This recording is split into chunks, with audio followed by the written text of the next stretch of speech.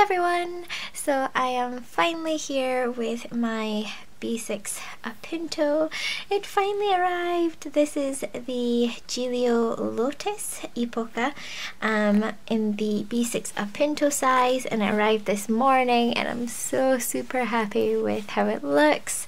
Um, I did manage to get quite a smooth leather looking one. Um, so yeah, I'm very happy with it. And then these are the two notebooks that I'm going to put in my um, Appunto and it will be my work 2020 planner. So here we have the Marks Edit. This is in a like a dusty muted mauve color um, it, it looks stunning and it does feel um, quite luxurious um, it's got slight texture to it and yep I, I'm just so happy with how everything like goes together. I was like yay! I was kind of like a aim in the dark with this colour because I wasn't sure if they were going to match at all. So um, yeah, I'm very happy with how this turned out.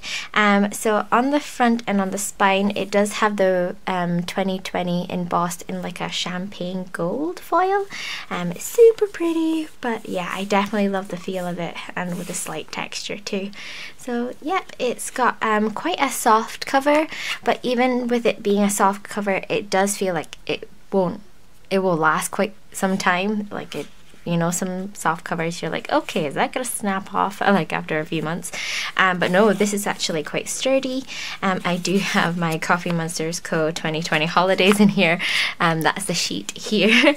um, but yeah, I'll just quickly actually go through this notebook. Um, this is a new to me brand. Um, so is this one. Um, so this is again as I say the Marks edit and if we open up we've got the title page. Um, I actually found out about this notebook through Sierra from SM Plans on Instagram. Um, she showed this exact one on her Insta stories and I of course absolutely fell in love with the color of the cover and decided you know what since um, I have been in a B6 for my Stalogy. I quite like the size. Why don't I try it for work? And then I was chatting to Sierra about it as well. She actually uses her uh, Marks Edit for her work um, and she used it for 2019 as well. So I checked out her video on YouTube and then after I was like, okay, I think I'll, I can, I could definitely let this um, have a go at this. So um, once you open up to the next page, you've got the three yearly views, you've got the year we're currently in, the year that the planner is in, and then just a forward-looking year as well at the bottom. Um, and then next up, you've got this year plan 2020. Now, this page I I have this um all the Hobonichi Weeks also has this layout and um one of the suggestions I got was to use it for step count um for every day and I'm not gonna lie I got a bit lazy with checking exactly how many steps I've done so um this that idea failed for this year. Hopefully next year I can pick that back up or if I've got another idea to do this for work then I'll put it here. Um, then next we have um, this year vision for 2020. So I think this is kind of like what you hope to have, uh, what you hope to achieve your certain goals for the year or just little like bubble memories of a holiday idea. Um, just like a, I look at this like a memory kind of thing. Um, well, like a forward memory kind of planning thing. Um, then you've got year planning list. I'm not sure how I'm going to work that yet. And then you've got a monthly events 2020 here. Um, might use this for certain big events with work um, or certain holidays that I want planned in a certain month. Um, and then at the bottom you've got this um, extra room to write in. Now this um, planner actually starts in um, what, what do you call it? It starts in October um, 2019 for their monthly so I got a little bit impatient and just went straight for it uh, I really want to have a go at writing in this planner so what I did was um, I put in the plans that I um, already had marked down in other planners um, for October, December, October, November, December um, that I knew of this year. And then for next year, I put down all the birthdays. So yeah, I just had a go. The paper is super buttery. I absolutely love it. Um, so on the monthlies, this is how it looks. You've got extra writing room at the top here for key events or key um, other little important things that you want to have written down or just maybe a quote that that'd be quite nice. Um, you've got a backward looking um, month and a forward looking month um, and I've actually tested out um, some Mildliners, um, Mildliner highlighters um, in this uh, planner and actually holds out okay. You've got slight shadowing but not so much so that's great. Um, I've actually used ballpoint pen so this one here, this is the Sailor Sakura 300 ballpoint I think that's the name of it. Um, if I find it again, I'll link it down below in the description. Um, but I think for this type of paper, I personally go towards ballpoints instead of gel.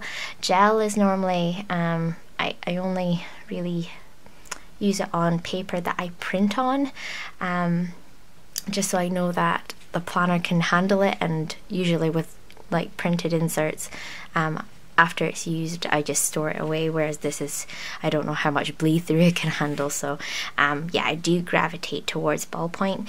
Um, so I've used that on here at the back. I do have a pen test so I'll show you there as well. So um, yeah it handles it quite well. So yay for that.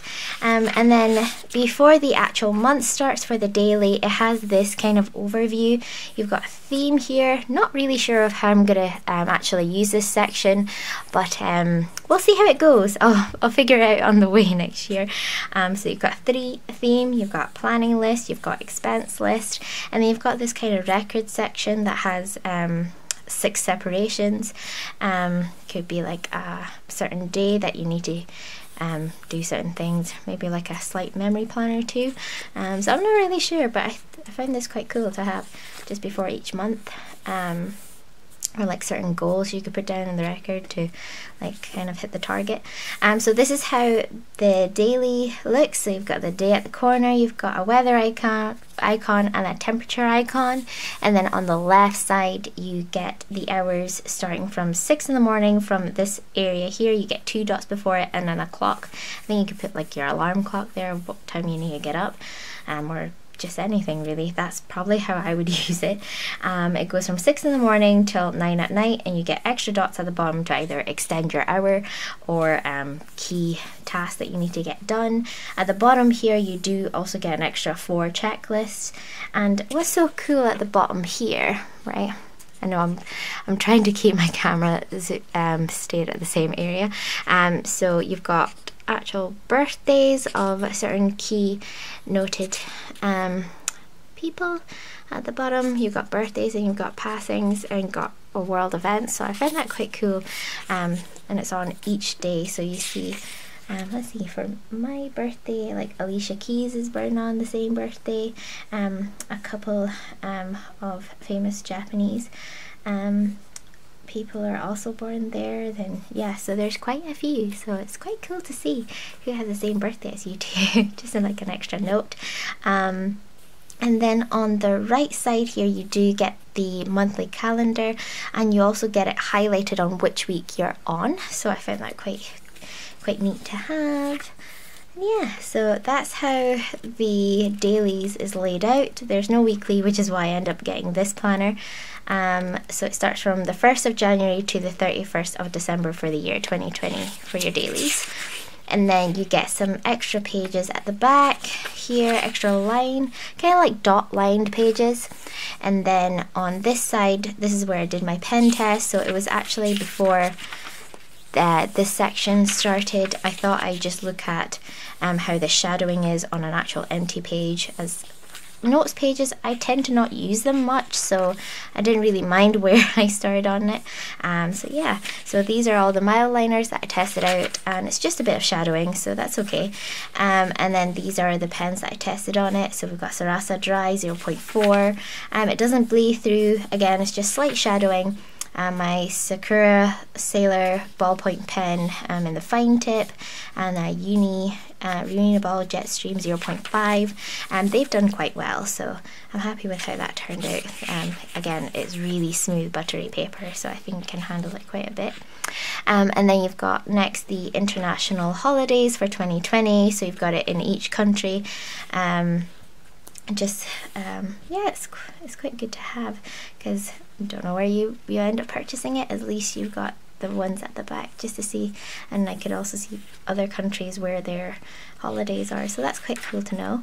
And you've got a world time chart here. And then next you've got a couple of subway maps um, in Japan. So yeah that'd be quite cool. Um, and then we have an address section on this page. And then lastly we've got your personal data um, so yeah. So that's the Marks edit. Um, I purchased um, my Marks edit and my oh Torinco um, hold on. Yeah I believe it's called the Torinco yeah. Uh, the Torinco on um, Amazon but based in Japan. Um, so I I'm registered with uh, Amazon based in UK. Um, so when I actually went to purchase the Amazon based in Japan, I had to make a new account. I think just due to the fact it's a different country, even though it's the same company, they kind of need you to register that too. Um, so if you're wondering about that, just keep a note of that. It's not because your account doesn't work or there's an issue. It's just because it's a different country. Um, so yeah, that's where I got um, the two notebooks here. So as you saw, there was only a monthly and a daily, I thought, you know what, I'm gonna add on a weekly because I quite like my weekly views as well. Now I do have an Hobonichi week set for next year. Um, oh, oops. Um, hold on, let me just bring back the table. Um, I have a Hobonichi um, weeks on normal weeks for 2020 in this lovely baby pink. Um, originally, my plan was to work these two together. But um, I did think about should I slot it into the B6 um, but then it's like two different sizes of planner even though I think the height could do it the width I think would eventually bother me. So I thought you know what I'll just look into it and see what notebooks there are. And then I found this brand called Torinco I think that's how you say it. Um, and they had two weekly layouts. They had a weekly layout that was exact pretty much exactly the same as the Hobonichi weeks, where it was horizontal weekly on your left side and then on the right side, instead of gridded like the Hobonichi, it was dot grid. Um, so that's actually what I checked out with first. But then I thought, I'm going to try and use this in my planner system. So let's change it up a bit. And then I went back and ended up with this weekly. And um, this is a vertical weekly layout. Um, it's called the Torinco um, design 7 they have quite a number of designs. I've kind of lost the leaflet. Um, if I see it again I will show you guys on Instagram. Um, but you can definitely see all the different styles they have for this brand on Amazon as well. Um, so yeah, this I believe is the light baby pink colour um, and what a great thing is for this planner is um, it starts in December, no, it starts in the last week of November for the weekly and it goes, I think, straight up to the end of the year. Yeah, so it actually starts this year rather than this daily starting in next year, but fair enough, the dailies you have a day per page, so that'll be a lot of paper. Um, so yeah, I thought that was quite neat to have this one start in this current year. Um, and their monthlies, um, I'll just show you. Um, I'll go through the monthlies in a moment. Um, so this is how the cover looks like. Um, it's a plastic cover. It's got slight soft I don't know what to call this texture, um, but I love the feel of it. um, yeah, so it's got this cover to it. Um, it came with the cover actually, and then at the back it's got the secretarial pocket. Um, oh, is my camera focusing okay? Right, there we go. Um, it's got a slight secretarial to it and a pen loop. Now, the quality of the cover I quite like. Um, it's the quality of the notebook actual cover, I'm slightly concerned, but with the price that I paid, I was like, okay. Um, so I personally will not take this planner out just because this is one of the flimsy ones that I'm like, okay, might not survive um, without its actual cover cover um, if I took it out for a couple of months or so because it's just cardboard. Um, yeah, just as it is. So um, that um, if you're not a fan of that, then probably wouldn't go towards this. Um, see if Marks Edit has a weekly layout. Um, but I thought I'd give this a go because I haven't seen this planner um, in the planner community or anyone that I've known of showing it, showing it. So this was just a trial really just to see how it go. Um, so as we open up here, I do love the inside. It's like a light grey colour. Um, so on the inside here, you've got the cover page. Then you've got um, the year 2020 on two pages for the monthly. You do get some areas to write down key events. Um, and then on the next page, you get this current year and then a forward looking year on one page. And the next up, you get December of 2019. So the difference for the monthly here is you get extra room on the left side to write whatever you need, extra little notes, key things that you want to get done in December. Just really up to you how you want to use that. Um, it's dot grid for that. And then on each day, it's actually separated into two little sections. I think I've got a helicopter passing by. So if you hear like a low hum, is actually a helicopter. I'm um, sorry, side note. Um, the day is split into two boxes so um, I think how I would use this is a top, bo top box would be possibly certain task I need to get done for that day. And at the bottom maybe a meeting or something like that. And if I have double meetings then I could split it as morning and afternoon. That's probably how I would use this monthly. Um, and then you get a forward looking month only. So um, yeah the month starts from December of 2019 and it goes all the way up to um, I think March. Yeah March of 2021 so yeah it gives you a few extra months whereas this one gives you the current the 2019 more um, and then this one just gives you the 2021 more. Um, so yeah, it starts next week actually for this weekly layout. So yay, I get to have a go at it. Um, so this is how the weekly layout looks. It's a vertical layout that normally I'm not a fan of vertical layouts. My brain just kind of goes no. Um, after a while, it's just like I can't function with it. But I thought since it's split into three different boxes, I would use the top box as the morning section of the day if I have certain events or certain tasks I need to get done in the morning morning, then I then it's kind of split off. And um, the middle section would be like from half 11 in the morning till about two, half two in the afternoon. And then the bottom section will be like three till um, finishing work time. So that's how I use the three boxes and I thought that would be a good way to separate everything. Um, and then at the bottom here you've got extra note um, section in dot grid. So yeah, I thought, let's have a go. And then on the left side, you do get the week highlighted you're on, so that's quite cool as well. And so yeah, it starts in December of 2019, and then for the weekly, let's see, what was it again? It goes up to the last week of December for 20, uh, 2020. Well, and then gives you a few days of 2021 in January. And at the back, you've got some extra note paper in dot grid and then, oh, we'll get there, we'll get there. Hold on, oh, almost there. You get an age chart. Oh, that's, that's different. uh, did think I need to use one, but that's quite interesting to see. um, and then you've got your personal data section, and you've got your ID and password. At the back, you've just got some details of the company and then the back there. So that's this notebook. Um, again, here is the name and this is the number of this one. Um, I will say on the Amazon website to find this notebook, double check your listing picture, not just their title. Um, I think there was a slight mix up in their numbers, but definitely double check the pictures. I follow the pictures, I didn't follow the title as much as in the number. Um, so yeah, just keep an eye out on that. Um, and then yeah, let's get to it. Let's put this in my B6 Appunto. I'm so excited to use, yay! Um, so here, oh, so pretty. so as we open up, so we have um, just some extra room here of quite a number of card slots. Not sure if I have enough cards right now. Um, probably just put some cutesy stickers. Actually, I do have cutesy stickers. Put that at the back. Then You've got your two uh, bookmarks here. You've got a slot here to put in your B6 notebook, and I'm going to use this side as well. You've got your zipper pocket. Um, I don't think I have anything I want to put in here just now, and then a small little secretarial and your pen loop. So yeah, I'm very happy with the one that I got. Yay! It's such a pretty color. So you can see here, oops, I'm going to put my marks edit on the right side. So I'm just going to slot it in.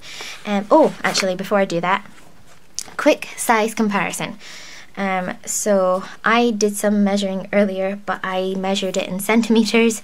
So um, if you're wondering about inches, get your Google Translator ready or metric system, get it ready. Um, so uh, the, let's see, I'll just get it there. So width wise, it's like a centimetre wider with the Torinco in comparison to the Marks Edit and about half a centimetre taller. Um, so yeah, that's how it looks.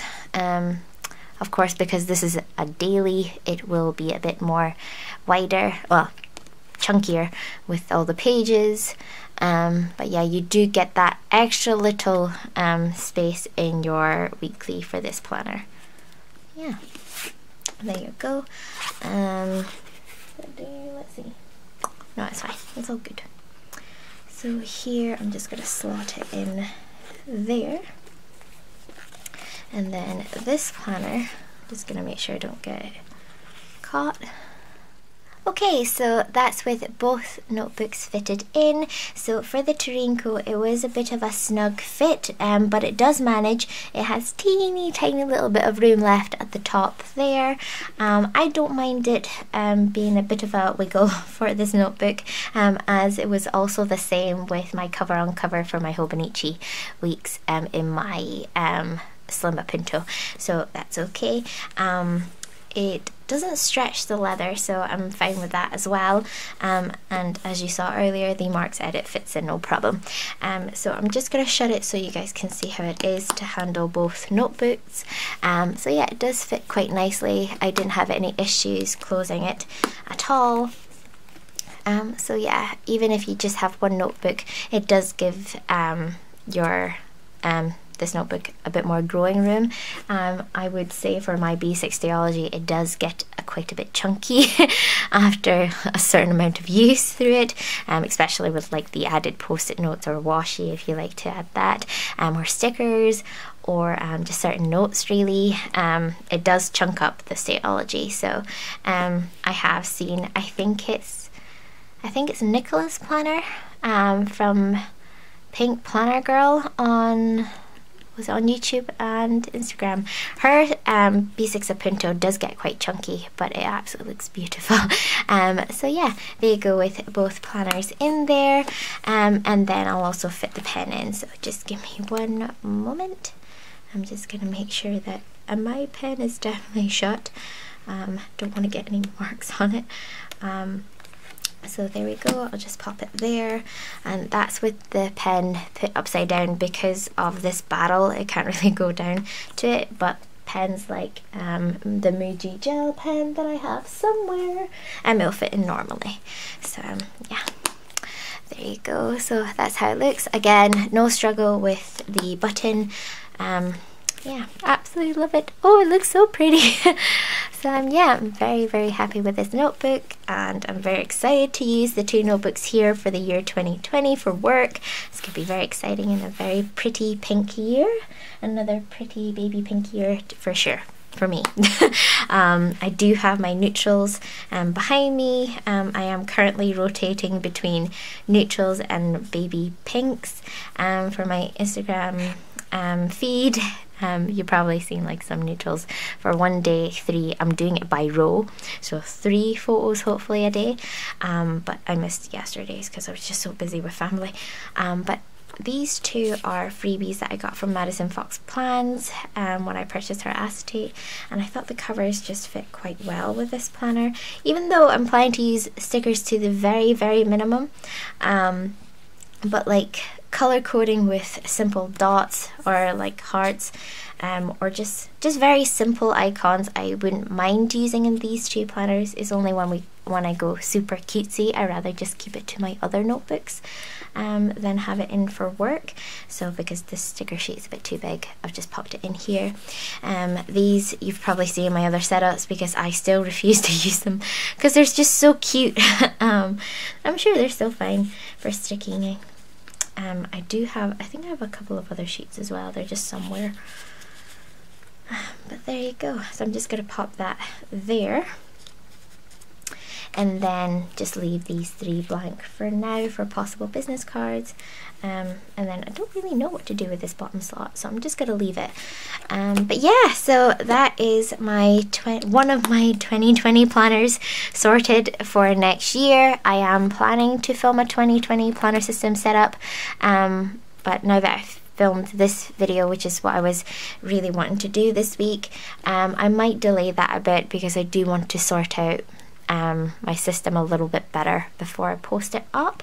Um, but yeah, so there you go guys. If you have any questions, um, let me know in the comments down below and I'll try my best to answer them. So um, I'll see you guys later. Bye!